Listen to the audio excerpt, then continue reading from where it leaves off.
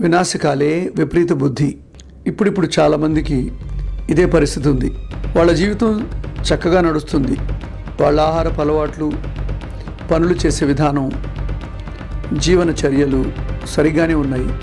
కానీ ఏదో ఒకటి కొత్తదనాన్ని సృష్టించాలి అని చెప్పి ఎవడు ఏది టీవీలో చెప్తే అది ఫాలో చేసి మనుషులందరూ ఇబ్బందులు పడుతున్నారు. కొద్ది కాలం మీద మీరు గుర్తు తెచ్చుకోండి. హై ప్రోటీన్ డైట్ అంటే ఎక్కువ మాంసకృతులు ఆహారంలో తీసుకోవాలి. దీన్నే డాక్టర్ యాట్కిన్స్ డైట్ అని కూడా అంటారు. ఈ విధంగా బాగా ప్రోటీన్స్ తిని తిని బాడీ ఒక కిటోసిస్కి వెళ్ళి మసిల్స్ బ్రేక్ డౌన్ అయ్యి ఇంటెస్టైన్స్ అన్నీ కూడా చాలా సఫర్ అయ్యాయి. తర్వాత కొన్ని రోజుల తర్వాత జనరల్ మోటార్ డైట్ వచ్చింది. ఈ జనరల్ మోటార్ డైట్ ప్రతిరోజు వేరే వేరే వస్తువులు తినడం. దీనివల్ల మనుషుల యొక్క కడుపులు చాలా గందరగోళమయ్యాయి. ఎందుకంటే ప్రతిసారి మనం ఏదో ఒక ఆహారాన్ని కొత్త ఆహారాన్ని ఇస్తుంటే అది అలవాటు చేసుకోలేక చాలామంది బాధలకు గురి అయ్యారు. తిరిగి మనుషులు వీటన్నిటిని మర్చిపోయారు. ఎవరో ఒక ఆయన వచ్చి మీరు సన్ఫ్లవర్ ఆయిల్ నోట్లో వేసుకొని కొంచెం గరగర చేయండి. దాని పేరు ఆయిల్ పుల్లింగ్. అంటే ఈ విధంగా చేయటం వల్ల అన్ని వ్యాధులు పోతాయి.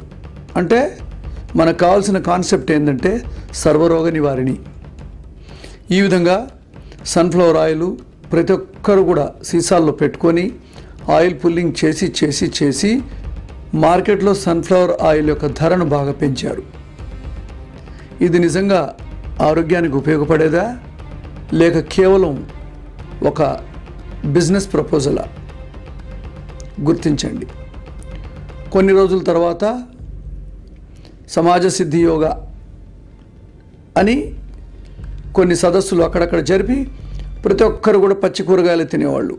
రోజంతా పచ్చి కూరగాయలు పచ్చి మొలకలు ఇవన్నీ తిని తిని చాలామందికి జీర్ణక్రియ అంతా బద్దకించి చాలా ఇబ్బందులకు లోనయ్యారు.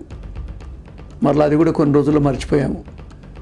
ఆలోచించండి పచ్చి కూరగాయలు పచ్చి మొలకలు జంతువులకు కూడా అరగవవి అందుకనే మేకలు గేదెలు వీటిని సగం జీర్ణించిన తర్వాత మళ్ళా తిరిగి నోటిలో తెచ్చి నెమరు వేస్తాయి. కానీ మనుషులకు నెమరు వేసే కెపాసిటీ లేదు.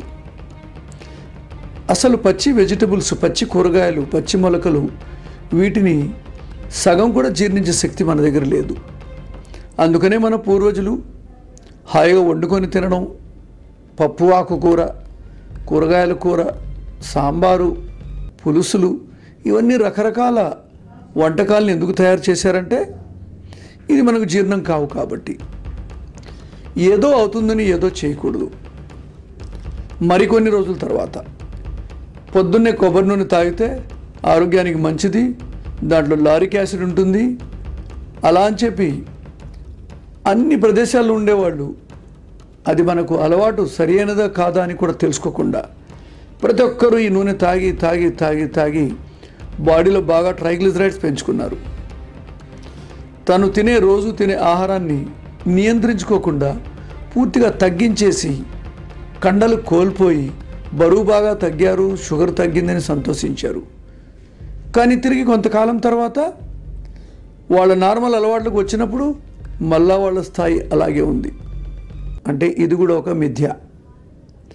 ఇప్పుడు మళ్ళా కొత్తగా ఇంకెవరో టీవీలో వచ్చి చిరుధాన్యాలు తినండి అంటే మిల్లెట్స్ తినండి అంటే మనం తినేవి కాకుండా వేరేవి తినండి. దీనివల్ల మన కడుపు పాపం చాలా బాధపడుతుంది. ఇదేమిట్రా రోజు చక్కగా అన్నం తినేవాడు అన్ని కూరలు తినేవాడు ఈరోజు ఎక్కడెక్కడో కొత్త కొత్త ఐటమ్స్ అన్ని కడుపులో వేస్తున్నాడు. మన శరీరం ఇటువంటి వాటిని తట్టుకోలేదు. కొంత సమయానికి ఏదో బెనిఫిట్ అయినట్లు అనిపిస్తుంది.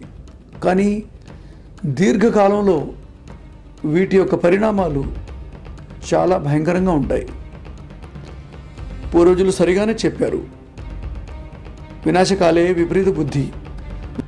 కాబట్టి కొత్త పద్ధతుల్ని అనవసరంగా మీ జీవితంలోకి చేర్చొద్దు. స్థానికంగా పారంపర్యంగా ఎలాంటి అలవాట్లు మీకు ఉన్నాయో వాటిని పాటించండి.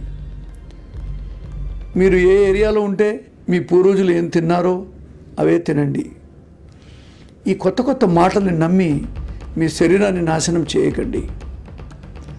ప్రపంచంలో ఉండే ఎక్కువ రోజులు బ్రతికే మనుషులందరూ కూడా వాళ్ళ స్థానికమైన ఆహారాన్ని తీసుకుంటారు.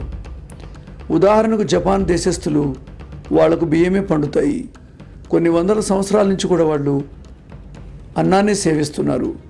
వాళ్ళలో షుగరు పెరగలేదు బరువు పెరగలేదు ఎందుకంటే నియంత్రణతో ఉండాలి. మనమంతా అతివృష్టి అనావృష్టి బాగుందని ఎక్కువ తినేయడం లేదంటే ఉపవాసం చేయడం. ఈ విధంగా అతివృష్టి అనావృష్టి పద్ధతుల్ని మనం ఫాలో చేసినప్పుడు మన శరీరం చాలా ఆందోళనకు గురి అయి మన ఆహారాన్ని అంతా కొవ్వుగా మార్చేసి పెట్టేస్తుంది. అందువల్లే మనం ఈరోజు చాలా వరకు బరువు పెరగడం రక్తంలో ట్రైగ్లిజరైడ్స్ పెరగడం తర్వాత క్రమక్రమంగా లివర్లో ఫ్యాట్ చేరి ఫ్యాటీ లివర్గా మారటం మనిషి కొంచెం సోమరితనానికి గురి అవ్వడం మన మొత్తం పాపులేషన్ చూస్తే ఒబెసిటీ పెరుగుతుంది షుగర్ పెరుగుతుంది చేయడం వల్ల ఇవన్నీ ఏమి తగ్గవు. ఎవరన్నా మీకు ఏదన్నా కొత్త అడ్వైజ్ ఇస్తే ఆయన డాక్టరా న్యూట్రిషనిస్టా సైంటిస్టా ఆయన ఎంతమందిని ట్రీట్ చేశాడు ఊరికే టీవీలో కబుర్లు చెప్తే సరిపోదు. నిజంగా ఫలితాలను ఎక్కడన్నా రుజువు చేశాడా? ఏదైనా జర్నల్లో పబ్లిష్ చేశారా? ఈ విధంగా మీరు ప్రశ్నించాలి. ఎవరో ఏదో చెప్తే మన జీవితాన్ని మార్చుకోకూడదు. సో స్నేహితులారా ఇది నేను చెప్పింది ఊరికి తమాషా కాదు. ఇది పూర్తి నిజం. శాస్త్రీయబద్ధమైన నిజం. Don't change your habits don't follow this shortcut habits please please మీరు హాయిగా ఆనందంగా ఉండండి. మీ అలవాట్లతోనే జీవించండి. ఎక్కువ రోజులు బ్రతుకుతారు.